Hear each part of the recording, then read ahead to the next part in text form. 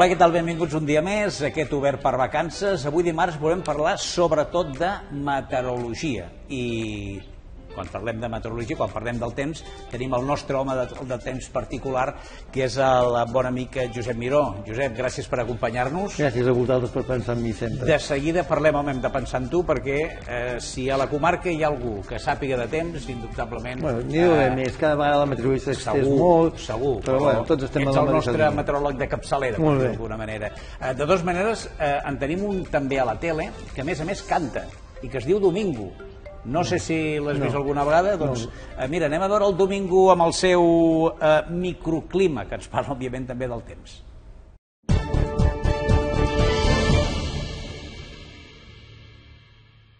I fins aquí les notícies d'avui. Gràcies per acompanyar-nos. I si volen saber la raó d'aquest estigma, ens aporta el nostre meteoròleg. Domingo. Domingo.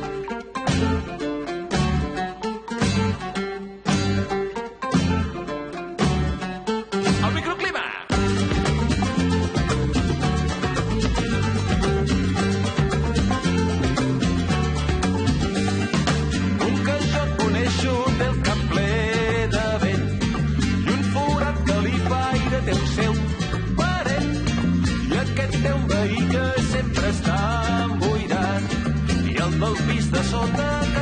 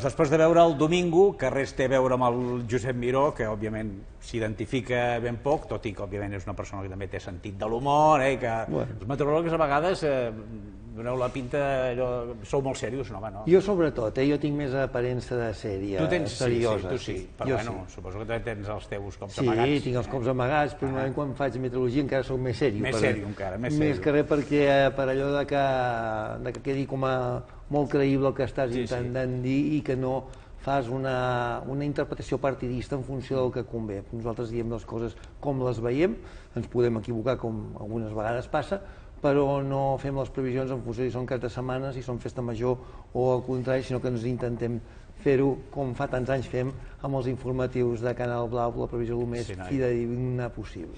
Sou a vegades les persones eh, més estimades o les més odiades? Jo crec que Perquè les més si, odiades. Si tu dius que demà tinc un casament i és a l'aire lliure, no sé què, i em surt el Josep Miró, un hombre del tiempo, i em diu, i plourà, eh, sembla que la culpa de plogui sigui teva. I ara que no plou, també sigui que... No, no, és, evi- és evident, i sempre ens recordem més per les pífies que no Sí. pas pels encerts. Per tant, doncs això ja se sap. És molt fàcil, doncs, a tot el passat dir, oh, mira, aquell es va equivocar o no, no. I suposo que és més complicat el teu paper que no pas un meteoròleg que, que surt a TV3, m'ho invento, eh, o Televisió Espanyola o una televisió estatal, sí. que parla d'un territori molt més ampli. Clar, tu has de parlar si plourà o no eh, a Vilanova, i a vegades ens trobem que a Vilanova eh, plou a la Collada però no plou a baixa mar, o la sí, inversa. però hi ha pocs dies que hi hagi aquesta irregularitat. Jo diria, poder encara al contrari, que nosaltres, al tenir un centre eh, territorial tan curt, podem eh, precisar molt més, amb el risc de marge que hi ha, però no hem de fer-ho tan ambigu com a tocar tots totes les parts. És molt fàcil a Catalunya doncs, el temps, perquè si dius pluges a la tarda al Pirineu, el 70% de dia o 60% dels dies els tens, per tant això ja ho tens més fàcil. En canvi aquí a la comarca doncs, això no passa tant, hem de precisar molt més i per un cantó té avantatges i per altre té aquests inconvenients. Però vaja, eh, és qüestió de preveure el temps amb el, amb el, amb l'espai geogràfic que tu estàs i adaptar-te aquí. Per tant, això no és un, no és un problema. A més a més, no és una ciència exacta, tampoc la meteorologia, vosaltres Bastant, en, en, però... mapes, sí, en no teniu una boleta màgica. No, amb models que... numèrics que normalment poden, poden acertar bastant, però sempre hi ha un marge d'error. Per- per tant, ahir, bueno, fa uns dies mateix no s'esperaven precipitacions a la Costa Daurada i a Tarragona estava plovent. Sí. Eh, Sí, sí. Bueno, passa això.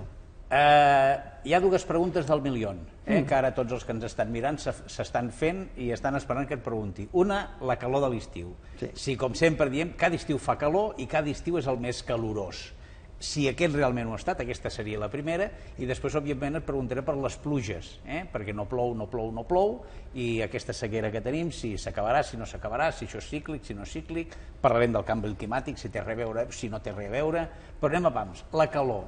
Mm. És l'estiu més calorós que hem viscut i que recordem dels últims anys? Gairebé que sí, i no ho, di, ho diem en aquest gairebé perquè eh, pràcticament es posa al nivell del que havia sigut fins ara l'estiu més calorós, que era el del 2003. El 2003 va fer més calor... o Mm, Fins va- ara Era el més eh, calorós. Era el més calorós. Ara hi ha dubtes, perquè en valors mitjans el 2022 ha sigut molt més calorós que el, el 2003. Però en valors extrems, o sigui, les temperatures màximes enregistrades van ser més altes el 2003 que no pas aquest, aquest 2022. Tot i que també hi ha un, un factor a tenir en compte en aquesta comparació, i és que el 2003 partíem d'un maig fresc i aquest any partíem ja d'un maig 4 graus més calorós que el que havia sigut el del 2003. Per tant, clar, els números depèn de com comparis, eh, no queda molt clar, però en conjunt podríem dir que sí que ha sigut més, més calorós en valors mitjans i sem també en aquesta inèrcia que tothom ho diu, que aquest ha sigut un estiu molt llarg i calorós, com així ha estat. També ho va ser el 2003, eh, perquè el 2003, el mes de juny, també va ser molt calorós, amb 32 graus de màxima absoluta. Aquest, aquest juny vam arribar als 32, l'única diferència és que el mes de juny del 2003 es havia passat dels 30 graus en 7 ocasions i en canvi en aquest mes de juny d'enguany només s'havia passat dels 30 en dues ocasions. I això es, es, serà així sempre? No. I s'allargarà? Perquè s'acaba l'estiu o tindrem estiu encara fins al mes d'octubre o, o, Això- o, ni per la fira és- estrenarem abric? Això és difícil de dir perquè els, eh, les previsions en què es basem, basem nosaltres no és amb aquests models estacionals llargs amb un mes vista que la fiabilitat que tenen és escassa. Nosaltres anem a 15 dies vista. Uh, aquest mes de setembre ha començat un palet més fresquet que el que havia sigut a l'agost. Ja van baixar les temperatures a partir del dia 1 o 2 de setembre i per tant uh, aquesta inèrcia de tot l'agost de moment s'ha tallat. Per tant, no vol dir que aquest agost, eh, tan, després d'un agost tan calorós, el setembre hagi de seguir la mateixa tendència. Per tant, també aquesta pregunta ara tots ens fa pensar que cada any serà pitjor, però si això ho traslladéssim al 2003, podríem veure que després del 2003 fins al 2022 hi ha hagut anys calorosos, però no n'hi havia hagut cap tan calorós com el 2003. Hem hagut de passar 19 anys per arribar a un del mateix nivell. Després et pregunto per la pluja, però ja que parlem de calor, aquest canvi climàtic eh, tant, que tant es parla i que es diu que eh, les temperatures pujaran, etc. etc. Això ho notarem nosaltres o això és una que cosa sí. que aniran notant fe- els fills, els No. nets i els que vagin No, no, venint? ja ho hem anat notant. Nosaltres mateixos, a, a 5 anys, els 5 anys anteriors, els que estem, són molt més calorosos, per dir alguna cosa, que del 2005 al 2010. Aquesta gradualitat de les pujades amb els valors anuals ja l'estem veient. El que passa que no és que cada any pugi un grau i mig, sinó que si agaféssim la mitjana d'aquests 5 anys, per dir alguna cosa, del 2017 al 2022, potser ha pujat un grau i mig o dos en relació al 2005-2010. Per tant, no és molt notable, però aquesta tendència hi és, i els hiverns eh, també són més càlids. No vol dir que hi, hi, hi haurà uns dies que farà el fred que abans feia quan nosaltres eh, Sí. anàvem amb pantaló curt i Sí, feia molt sí, de fred sí, a l'hivern, eh, arribar a aquells extrems no els arribarem, però un dia o dos puntuals es pot donar perquè estem en un clima a latituds mitjanes, pràcticament a mig camí entre el pol i l'equador, i això fa que estem una miqueta sotmesos a l'embat de, de corrents fredes o de corrents càlides, que això mascara una mica el que és el canvi climàtic. Si estéssim en una latitud més alta o més baixa, seria més fàcil de comparar, però estant en latituds mitjanes estem subjectes a irrupcions càlides i fredes. Aquests que diuen que eh, ara s'està havia la, la, el, el debat de si es feien Jocs Olímpics al Pirineu o no, eh? Eh, que deien no s'han de fer perquè el 2030 no hi haurà neu al Pirineu. Això no es pot assegurar, ni en canvi climàtic, perquè hi, havia, hi, hi va haver anys, el 2000 i pocs, o com van fer els mundials d'esquí a Sierra Nevada a finals del segle XX, no van tenir neu i posteriorment han tingut dos metres i tres metres de neu. Per tant, cada any és diferent, cada any ve donat amb, tal com se situen anticiclons i depressions, i tot i que el context sigui d'un escalfament progressiu, que ja, ja, ja l'hem donat per, per, per ferm, per cert i per provat, no vol dir això que no hi hagi uns anys que no tinguem neu. Ara, a copi d'anys, hi haurà més anys que patirem per tenir neu que no que anirem sobrats. Però que el 2030 no hi haurà neu, això no pot dir No ningú, pot dir. perquè igual pot ser el 2030 un d'aquests anys en què neva molt, però clar, això no es pot, no es pot assegurar. I la pluja, tan esperada pluja, aquesta sequera que tenim, que Sí. estem amb les amenaces de les Sí. restriccions d'aigua, això ho arreglarem, no s'arreglarà, això és cíclic... Bueno, pot ser cíclic perquè no, és la, no parlarem ara de sequeres extremes. La sequera extrema la vam tenir al període del 2004 al 2008, quan es parlava de posar desaladores al Baix Penedès i que la situació era crítica.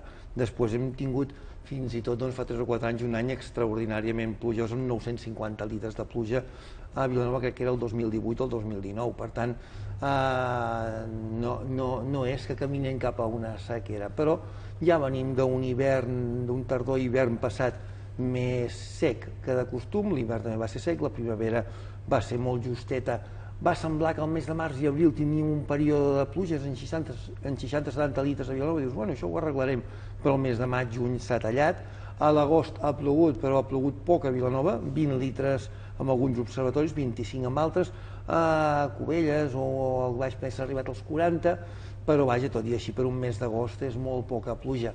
A veure, en teoria anem cap a la tardor, la tardor és l'època plujosa per excel·lència al nostre clima i esperem que no sigui com la tardor seca de l'any passat. Clar, quan, ja, quan encadenes dues o tres tardors seques continuadament malament rai, perquè el que t'arregla la pluja anual és la tardor i la que et carrega els aqüífers és la tardor.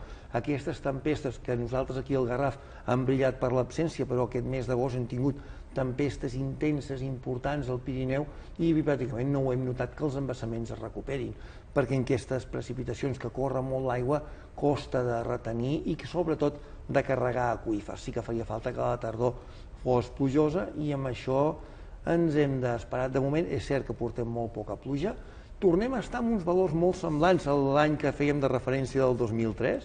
Si el, juny del 2003, ai, a l'estiu del 2003, quan es va acabar el 31 d'agost, portàvem 220 litres ploguts, és poc, a Vilanova en aquestes dates haurien d'estar entre els 260 i els 280, però és que aquest any ens hem quedat en 182.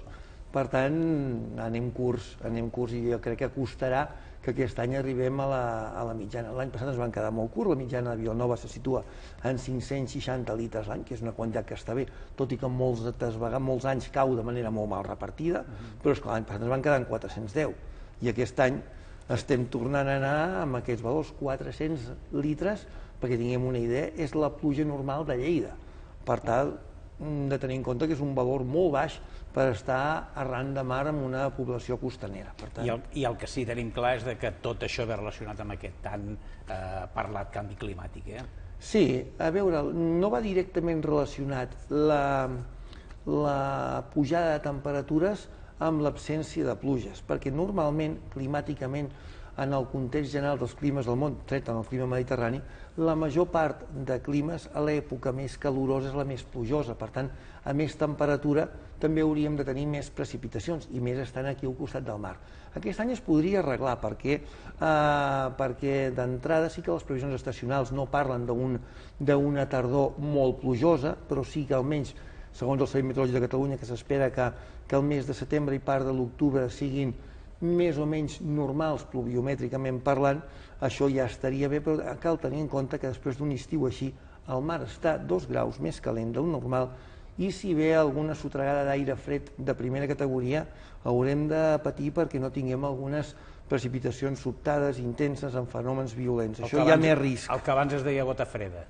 Sí, la gota freda en diuen dana, de pressió alts a nivells alts, però pràcticament és el mateix. Evidentment, a la que entrés una gota freda en alçada, al trobar el mar doncs, més calent del normal, que ja és molt normal que estigui calent en aquestes dates, però estem amb, temper amb, amb temperatures l'aigua del mar més pròpies de la costa alacantina o valenciana que no de la costa barcelonina, doncs això podria provocar ruixats, aiguats, tempestes intenses, fenòmens d'aquells com el de fa uns anys esclafits Sí. o coses d'aquest tipus. Sí, no perquè- volem dir que passi, però Sí. hi ha una miqueta més risc i això sí que és associat a canvi climàtic. Perquè això ens vas dir, amb altres vegades que n'hem parlat, que ens hem d'acostumar a aquests canvis Sí. eh, inesperats. Sí. Que et ve un glòria, et ve un esclafit, Sí. quan menys tu esperes i Sí. que no entra dintre de cap previsió, te'l pots trobar. Pot entrar en una provisió perquè es pot veure, eh? es pot veure, si hi ha una gota freda es pot veure, el que passa que clar, després assegurar-ho... La magnitud no. La magnitud no, com va passar amb el- amb l'esclafit d'ara fet eh, 3 anys. Mm. Però vaja, hi ha més risc, això sí que va associat a canvi climàtic, a fenòmens més severs, a poder les precipitacions que siguin més o menys les mateixes però caigudes en menys dies i per tant amb, menys, amb més intensitat, això hi hem d'estar preparats i per tant compte en guany que hi ha possibilitat que les tempestes puguin ser fortes. De moment a l'agost no ho han estat perquè les invasions d'aire fred que ens han arribat ha sigut de tercera o quarta categoria, però el dia que ens, en- ens apareixi una de 20 graus a 5.500 metres d'alçada podem tenir mm. algun, no dic que sigui a Vilanova, però sí, Sí, sí, sí. en qualsevol punt de la costa catalana, Maresme, eh, Garraf, que són zones propenses a tenir aquesta situació. Cap al llevant també és molt propens. Sí, eh, nosaltres tenim poder una miqueta més propens en el sentit que el llevant perquè tenim la, la, els sistemes muntanyosos més a prop del mar i això encara facilita més la, el creixement. Però ara et faré aquella pregunta sempre ens fem els xulos, els de, els de Vilanova, que aquí tenim un microclima. Bueno. Eh, això és una fantasmada? És una realitat? Eh, és un Bueno, fet provat? Mm, una És el certa famós microclima que no, parlem unes aquí al certes, Garraf i unes certes peculiaritats sí que les tenim. El fet de tenir el massís del Garraf, que no és que sigui molt alt, però sí molt pròxim al mar, a 550 metres d'alçada, doncs genera més turbulències de les que pot generar en una altra zona. I dintre de la comarca del Garraf, on sí que tenim un microclima calcadíssim, és a Canyelles. Canyelles sí, Canyelles sí que té un microclima especial dins mateix del Garraf. No es pot comparar amb la resta perquè hi ha el Montgros que el separa de la influència marítima i allà és un clima molt més continental a 5 quilòmetres de la costa del que podem tenir a Vilanova. Uh, els hiverns realment a Canyelles segueixen sent freds, Sí, temperatures de 3 i 4 sota 0 mm, no, no passen un dia, es poden trobar entre 7 i 10 dies l'any, a Vilanova no, i ara sí que ens hem arribat a 34 graus de temperatura màxima, a Canyelles han arribat a 37. Per tant, per Sí, tant sí. allà sí, a Canyelles sí que podem assegurar que és Que un allà sí que és un microclima. Sí. El Garraf, doncs, comparativament amb, amb, amb el Baix Llobregat sí que té unes Sí, perquè a diferències. el Baix Llobregat que cauen, cauen uns aiguats tremendos i, I aquí no. No, no I aquí no, perquè eh, el Baix Llobregat està al sector a sobrevent del vent de llevant del massís del Garraf. en aquestes situacions. En canvi, en situacions de Sotoer, amb, amb de, de Llevant passa això, però en situacions inverses de Garbí, eh, llavors és, és Vilanova i Sitges que tenen més precipitacions que els que poden tenir Per entendre's, el que ve per el que ve per davant. El que ve el, el vent sobre la muntanya és el que rep més és pluja. el que rep més. Uh, Déu-n'hi-do. Uh, per tant, ens hem d'anar acostumant a tots aquests canvis, tot i que uh, Sí. Hem d'anar mirant perquè és una ciència que triga anys en... No, va, en va evolucionant, però ja podem acostumar-nos amb una cosa, i és que les estacions intermitges, les equinoccials, primavera i tardor, cada vegada siguin més curtes o vagin desapareixent. Més de contrastos, passarem de la calor al fred, que ja fa uns anys que ens passa, però Sí, cada sí, vegada sí, sí. anirà, Sí, anirà passant d'una manera més clara i hem d'entendre que estem en un, en un clima molt benigne durant gran part de l'any, però en altres situacions doncs, presenta aquest problema d'aiguats o cada vegada ens haurem d'anar acostumant a que presenta més el nostre clima unes calorades que fins fa 20 o 25 anys no tenia. D'aquí dos mesos és la fi, no sabem si estrenem abric o no estrenem abric. Ja ho Bueno, almenys eh? la jaqueteta la sí, jaqueteta sí, cada any sí, però allò de l'abric L'abric per la fira petits... costa, costa. Sí, sí, que costa, sí. Uh, Josep, un ple que ens hagis acompanyat i ens hagis parlat de meteorologia, ens hagis fet un resum del que ha estat aquest estiu, del tema de les pluges com a moment, però com que no tens una bola de vidre No, no per poder saber ni tu ni cap meteoròleg, No. eh, que Però vaja, han canviat molt les previsions. Sí, no, no, no, cada vegada bé que són- fa sí, 20-25 sí. anys, quan començàvem, que no teníem ni satèl·lits, No, no, no. canviava no. molt. Ara quan dieu alguna cosa, fileu bastant, sí. fileu bastant prim. Uh, per això que els odis aquells que teníem a l'home del temps, que deia que faria sol i després plovia, o Bueno, l'inversa, sí. uh, ha canviat una miqueta. Josep, un plaer que ens hagis pogut acompanyar uh, i ens anirem retrobant amb la programació habitual de Canal Blau perquè quan tenim algú de parlar de temps, aquí tenim... Mm. Gràcies a vosaltres, és un plaer sempre un estar plaer aquí. est- que hagis ha Molt estat amb nosaltres. I del Josep Miró canviem radicalment de tema perquè ens anem cap al Centre Mèdic FEDEAR a parlar avui de traumatologia. Aviam què ens expliquen.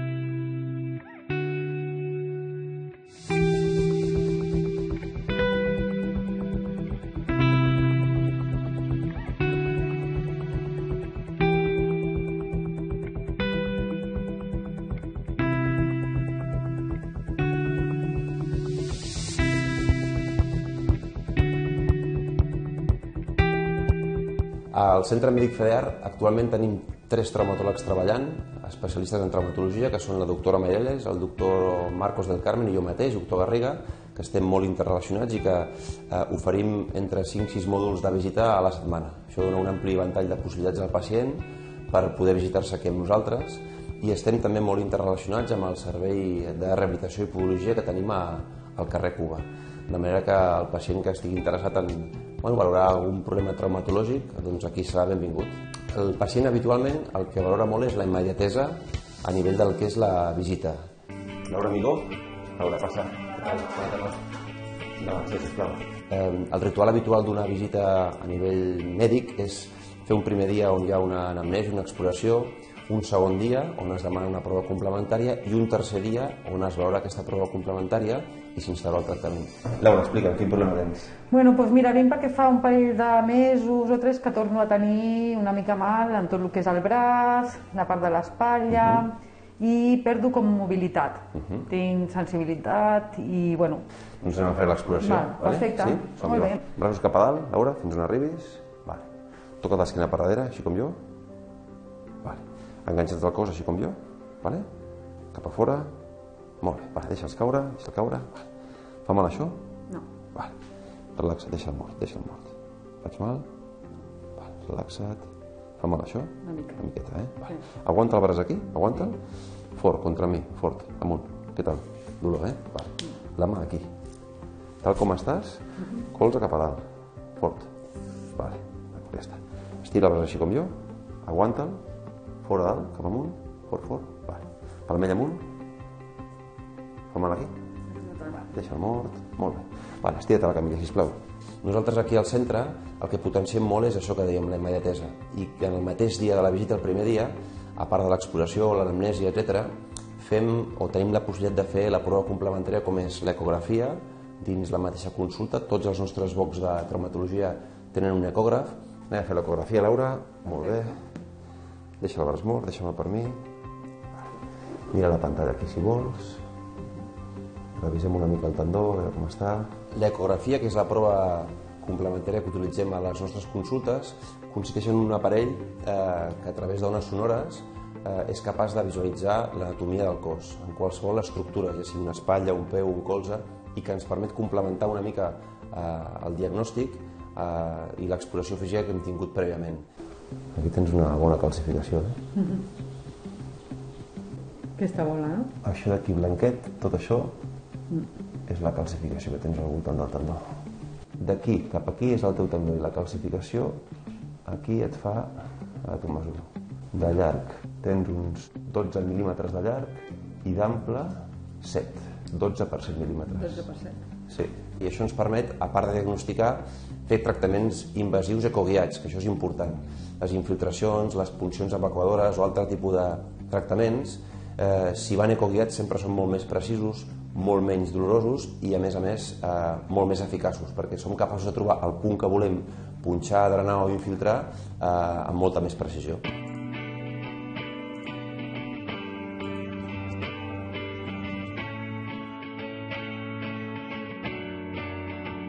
També tenim servei de radiologia, on podem fer, si és necessari, una radiografia el mateix dia de la consulta, de manera que doncs, eh, el pacient, quan arriba, se'n va amb l'exploració física, l'anamnesi, l'exploració complementària i el diagnòstic. I el mateix dia de la consulta podem instaurar el, el tractament que creguem oportú, ja sigui a través del servei de rehabilitació, que tenim a les instal·lacions del carrer Cuba, eh, valoració pel podòleg, amb un estudi de la petjada, etc, o algun tractament doncs, de caràcter més invasiu, com pot ser una infiltració, un drenatge...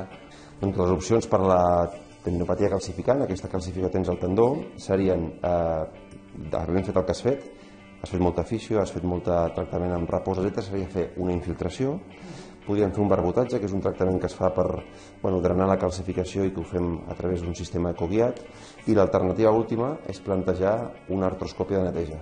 És una cirurgia amb la que, a través d'una càmera instrumental, entrem amb, bueno, doncs, amb un instrumental de 2-4 mil·límetres i el que fem és alliberar tot el calç que hi ha al voltant del tendó. Hem de decidir quin tractament fem. Vale?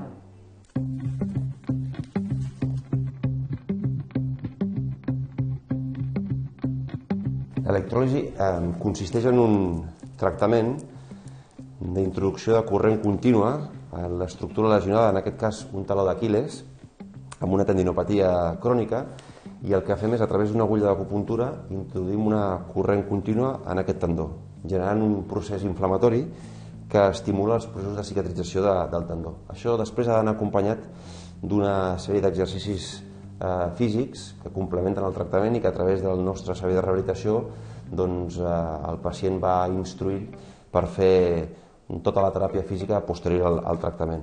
Punxem eh, la sessió d'electròlisi cada 3-4 setmanes i en funció de la resposta al tractament les sessions oscil·len entre 3-5 sessions per, per tractar, en aquest cas, el, el tendó d'Aquiles.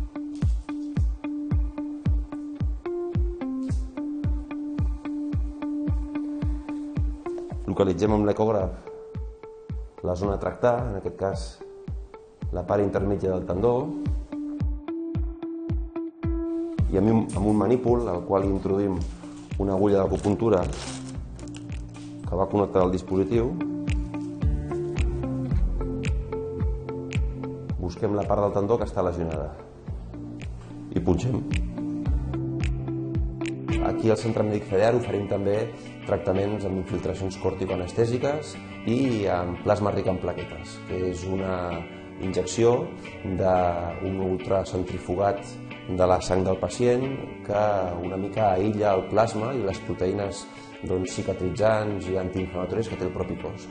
Eh, tenim una centrífuga aquí a disposició del pacient i en qüestió d'uns 20-25 minuts se li fa l'extracció de sang, es fa la centrifugació, es prepara a la mostra i al mateix dia eh, també amb un sistema colliat punxem el plasma ric en plaqueta o també factor de creixement com s'anomena habitualment en l'estructura que està lesionada.